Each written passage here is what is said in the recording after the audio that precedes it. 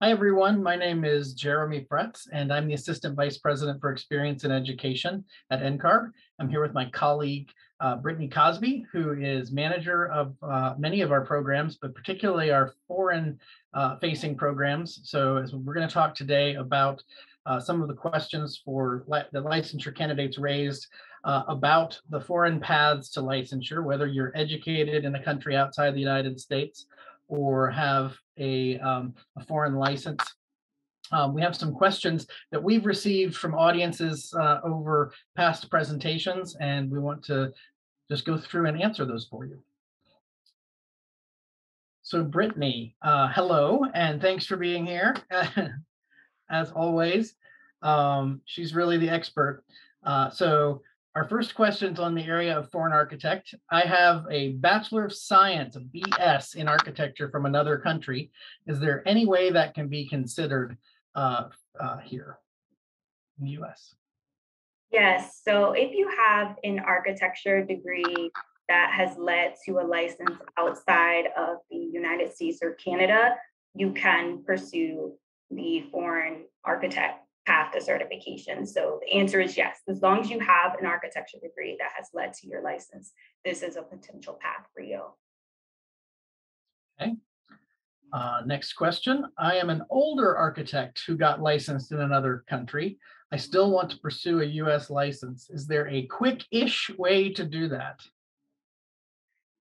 Yeah, so I guess the foreign architect path could be considered the quickest way um, because it does allow you to become eligible to take the ARE without having to go back to school to obtain a professional NAAB degree or without having to um, pursue an EESA, Education Evaluation Services for Architect. So if you have um, a license outside of the United States or Canada, and that in um, as well as the architecture degree that has led to that license, you could pursue the foreign architect path, which would then make you eligible to begin taking the ARE without having, again, without having to go back to school to obtain that five-year degree or without having to um, obtain an EESA. Okay. It looks like we have another question. Can you please explain the difference between the regular path and the international license path? Is there any difference between hours, exams, and general requirements? So I'll try and be specific when we when you're when the person asking the question is saying international license path, I'm going to assume that they're talking about what we call the foreign architect path. And those are the keywords that you'd be searching for if you were looking on our website. Um, just to, and just to sort of cover a point there, there is not an international architecture license. And in fact, there's not a national architecture license within the United States. They vary by individual states or territories. So the difference between our uh, the standard path that we talk about or the path that uh, domestic candidates would have access to, the difference for foreign architect uh, is really about how you meet the education component. So it's either the the uh, the foreign license or your foreign education or your combination of education and license in another country are going to substitute for that education piece in the path to licensure here in the United States. So after that, you still have the same requirements for the architect registration exam uh, and for the uh, the AXP pr program. So uh, the experience and exam requirements are the same. So for an architect specifically, uh, is for people with a foreign uh, license, a license to practice architecture outside the United States, and it combines that foreign degree plus an accepted foreign license to meet the education requirement. All right, and it looks like we have another question, Jeremy. As a foreign architect, how many years do I need to work here to be eligible for the ARE? So there's not a year specific requirement per se. If you have a foreign license and are pursuing that foreign architect path, you're eligible to begin testing. So you can begin taking the architect registration exam once you're approved for the foreign architect path. So once you submit your initial paperwork and ask for that path and we approve you for that, um, then you're eligible to begin testing. That to receive your NCARB certificate and then be eligible for licensure in one of the 55 jurisdictions in the United States, you also have to complete the AXP, just like any, uh, any candidate domestically. Um, Brittany, here's one I know we uh, get lots of questions about uh, related to, we hear lots of questions about translation. So do we have a preferred list of approved translators? We do not have a preferred list of uh, translators or translation services. Um, NCARB's requirement is that the translator be a certified translator. Um, also, please be mindful um, when requesting translations that for the foreign architect path, NCARB only requires your academic transcript. So the translation service should only be um, translating your academic transcript. We do not require course descriptions for the foreign architect path, and we do not require or accept evaluation reports or equivalency reports. There are some translation services that will offer all of those services in one. Please just be mindful, especially since the actual price points may change if you get additional services. NCARB only requires the translated transcript. And so a transcript is likely to be only a matter of a handful of pages, right? Uh, is really what we need, that list of courses and the grades and what degree they received. Yes, you're um, exactly what Jeremy just said. The courses you have taken, the grades, um, the degree title, and the uh, degree completion date is typically what a academic transcript uh, will include. So another transcript question, what if uh, your country of origin or your university will not forward transcripts directly to NCARB? Um, if the university will not forward the transcript directly to NCARB, you can ask your university to send the transcript directly to you in a sealed university envelope, and you can um, send the sealed university transcript to NCARB or if the transcript needs to be translated, you can send that sealed university envelope to a translation service. Um, again, if that transcript is coming directly from the university, um, you would want to make sure it is in a sealed envelope.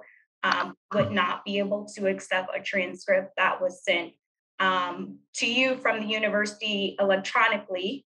Um, it would have to be an official sealed document.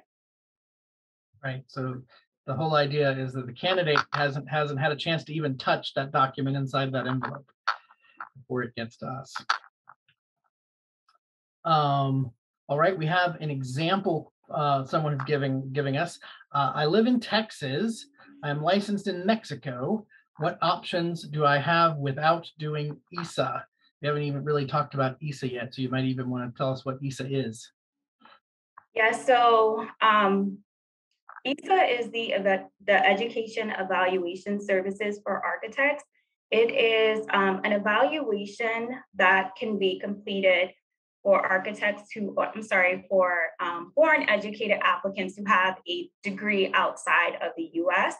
The um, evaluation is uh, conducted against NCARB's education standard, so your degree will be evaluated against NCARB's education standard in any education deficiencies that are identified in that um, EESA evaluation would need to be remedied by uh, taking additional coursework. This is not always um, a feasible option for applicants because it does require the applicant to take additional coursework if there are education deficiencies. And typically there will be education deficiencies identified in an EESA report. So for applicants who are actually, um, for foreign educated applicants who also hold a license outside of the US or Canada, you um, may have the option to pursue the foreign architect path to certification, which would require official academic transcript and um, uh, your, your license, your architecture license um, from outside of the US or Canada. Uh, for this particular applicant, if you hold a license in, in Mexico, we have had applicants who um, are licensed in Mexico and have become eligible for this path. So this is um, a potential path for you with the license in uh, Mexico. So it's either Again, we get, we get, hear this question a lot. People get confused between the two paths. If you're doing the foreign architect path, if you're eligible for the foreign architect path, you don't need to do the EESA, right? That is correct. Um, EESA, the EESA is an option. You do not have to complete EESA in the foreign architect path. Um, if you are eligible for the foreign architect path, we encourage applicants to pursue the foreign architect path unless you are pursuing licensure in a jurisdiction that actually requires EESA, but you do not have to do both.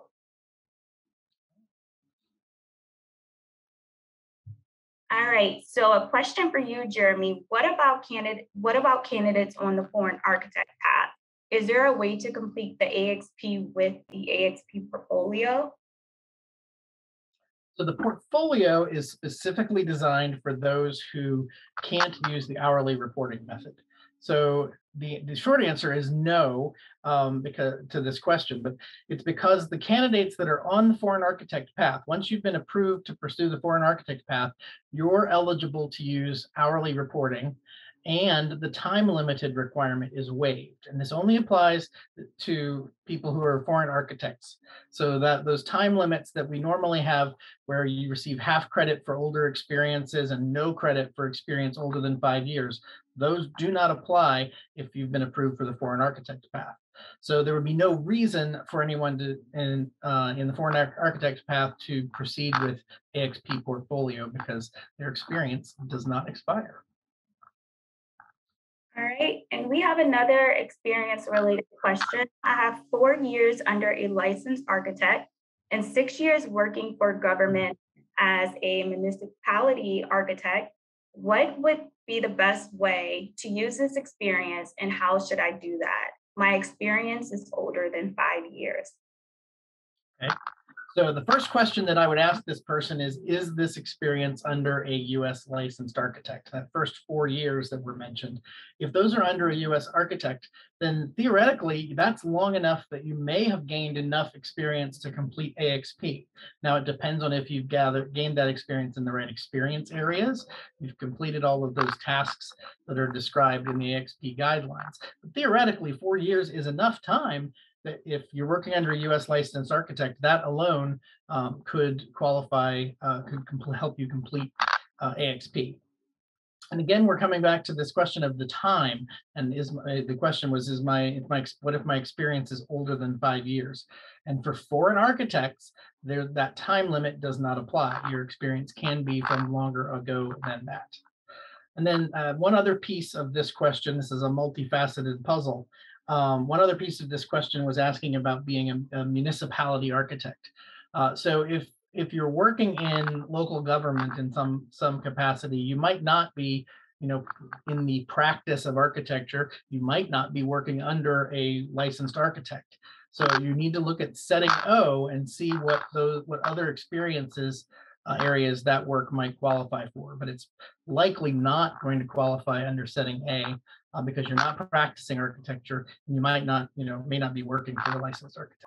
Yes, so I am licensed in a foreign country. Do I need to pass the, the exam?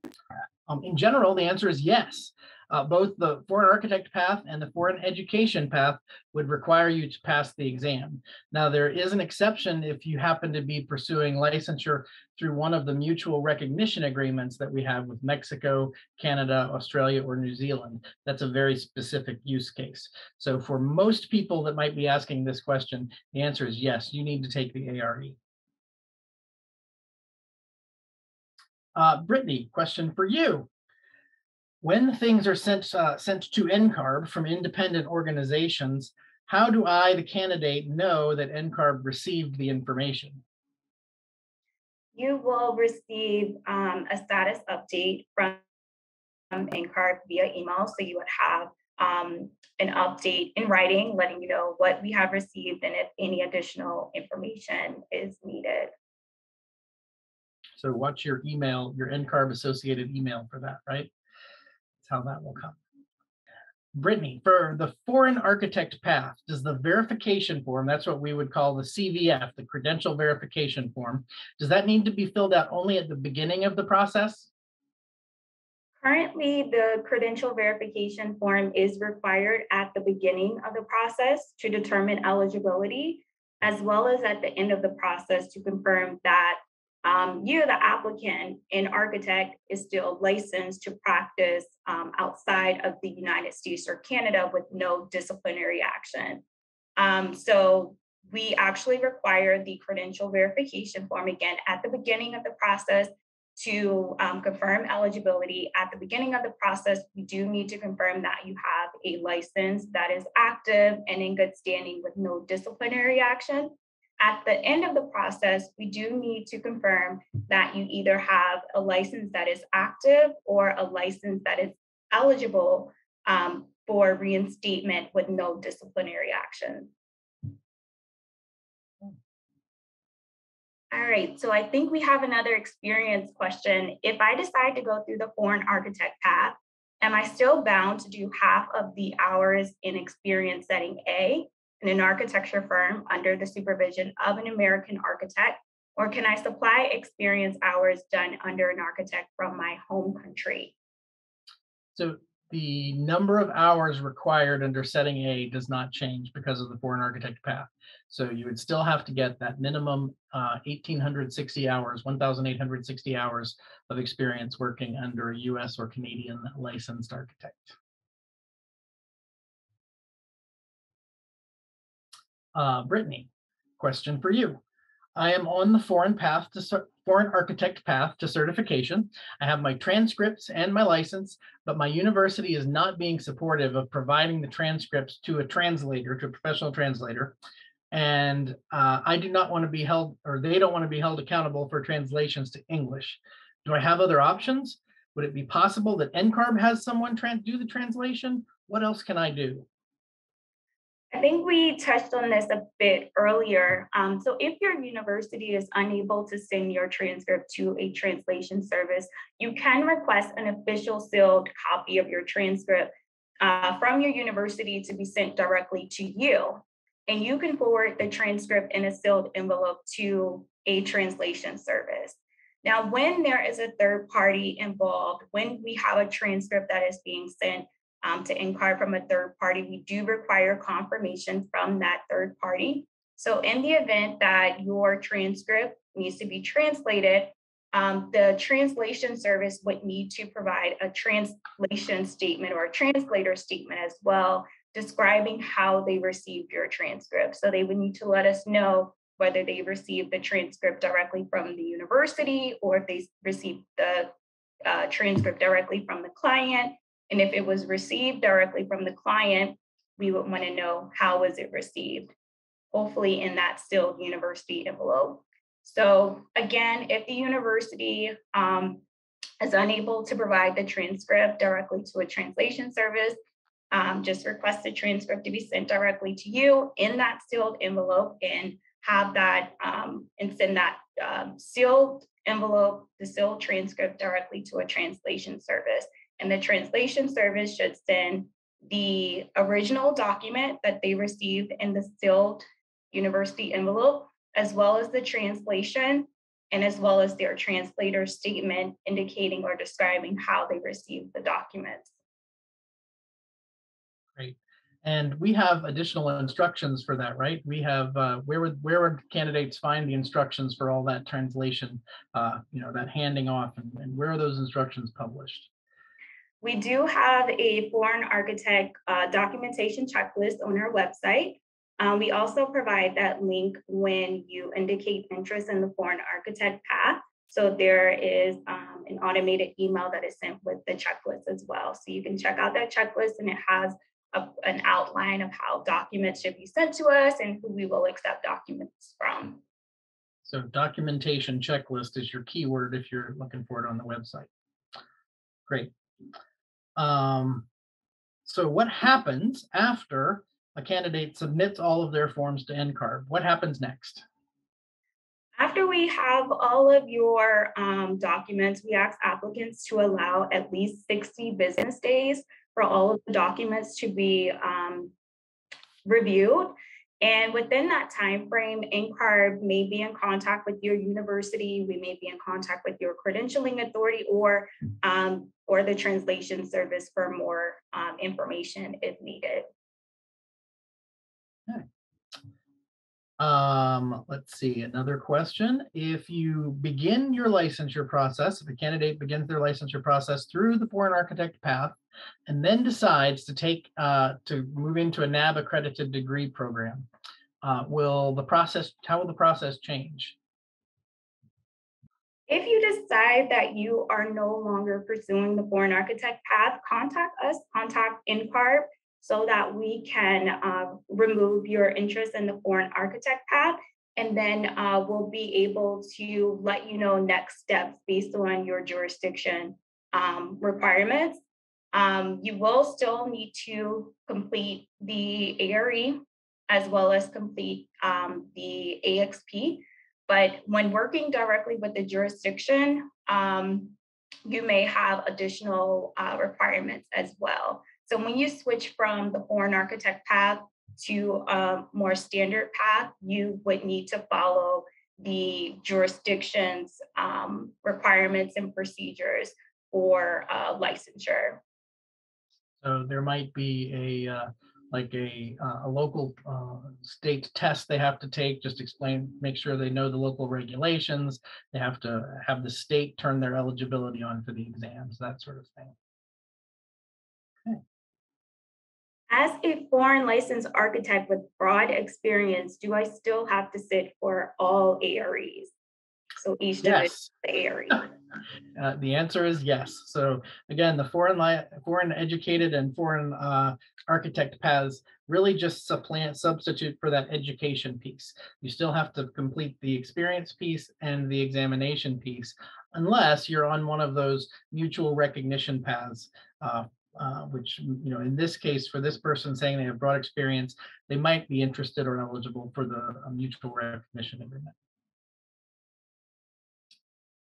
All right, for the foreign licensed architect path, does the foreign architect, does the foreign license status need to be active in order to be eligible? So we touched on this a little bit earlier, but I'll come back to it again. It does need to be active at the point you apply for the to the path. Now, if you're in a country where um, you know, there are some countries where actually once you they find out that you've moved out of the country, you you're automatically made inactive in that in that country. And so NCARB recognizes that, but if you have to be uh, eligible to be have your license reactivated. So if, for example, that country uh, would just have you move back and you have to establish residency or you have to uh, pay a, a renewal fee, those things are acceptable uh, if, you know, later, you know, in that second, second time we verify your credentials. What NCARB is really looking for is to verify that you've not practiced illegally or had any disciplinary action uh, before you get your first, before you get your NCARB certificate. Uh, so the answer is that you have to be active uh, in the foreign, the foreign license has to be active at the point you apply and has to remain in good standing uh, until you've, um, until you've gotten your NCARB certificate. For you, Brittany, what is the difference between an architect license and the NCARB certificate? Can I, as a foreign architect, try to get a license without going through the NCARB process? Yes, as a foreign architect, you can pursue licensure um, without going through um, the foreign architect path or without obtaining a certificate first. So for the so an NCARB certificate is a credential that leads to reciprocal registration or reciprocal license. So through the foreign architect path, you are made eligible to begin taking the ARE through NCARB. And after completing the requirements under the foreign architect path, you would be issued an NCARB certificate that you can then use to apply for a license in any US jurisdiction that will accept an NCARB certificate issued through the foreign architect path. So essentially, this certificate could lead to licensure in multiple jurisdictions as long as the jurisdictions accept an NCARB certificate. An architect license is an individual license that is issued by the jurisdiction So if you would like to obtain a license directly through the jurisdiction without going through NCARB's certification process first, you could contact the jurisdiction and determine uh, the jurisdiction's uh, licensure requirements and work directly with the jurisdiction to um, become eligible for um, the examination. For example, some jurisdictions may actually require the NAAB accredited degree. Other jurisdictions may require EESA, the Education Evaluation Services for Architects. Some jurisdictions may not may not have an education requirement in order to um, become eligible to take the ARE. So just be mindful if you are if you would like to uh, pursue a license without going through NCARB certification process, you would need to uh, be aware of the jurisdiction's requirements, meet the jurisdiction's requirements in order to begin taking the ARE. Um, and then you can receive your license and pursue certification at a future date. If you would like to pursue the foreign architect path, you would work directly with NCARB to become eligible for the exam. And you become eligible for the exam through the foreign architect path by again meeting the, um, the requirements, having um, a degree that has led to a license to practice, to legally and lawfully practice architecture outside of the United States or Canada. Okay, so in summary, there are sort of local options but the NCARB certificate path gives you uh, sort of a universal option that gets you well prepared for whatever jurisdiction you want to go to. Okay. Does uh, foreign architect experience, so an experience question, does foreign architect experience expire if it is older than five years? Well, first, um, once experience is reported and approved, it does not expire. And that's true for any um, licensure candidate. If you are pursuing the foreign architect path, you are not limited by the reporting requirements. So any previous experience can count toward the AXP as long as it's in accordance with our AXP guidelines. Brittany, that's all the questions that we have for uh, for this video. So if we did not get to your questions, or if you have other questions for NCARB, feel free to reach out to us if your questions are related to the Foreign Architect Path. Feel free to reach out to us at foreignarchitect at ncarb.org, or you um, can contact our customer relations department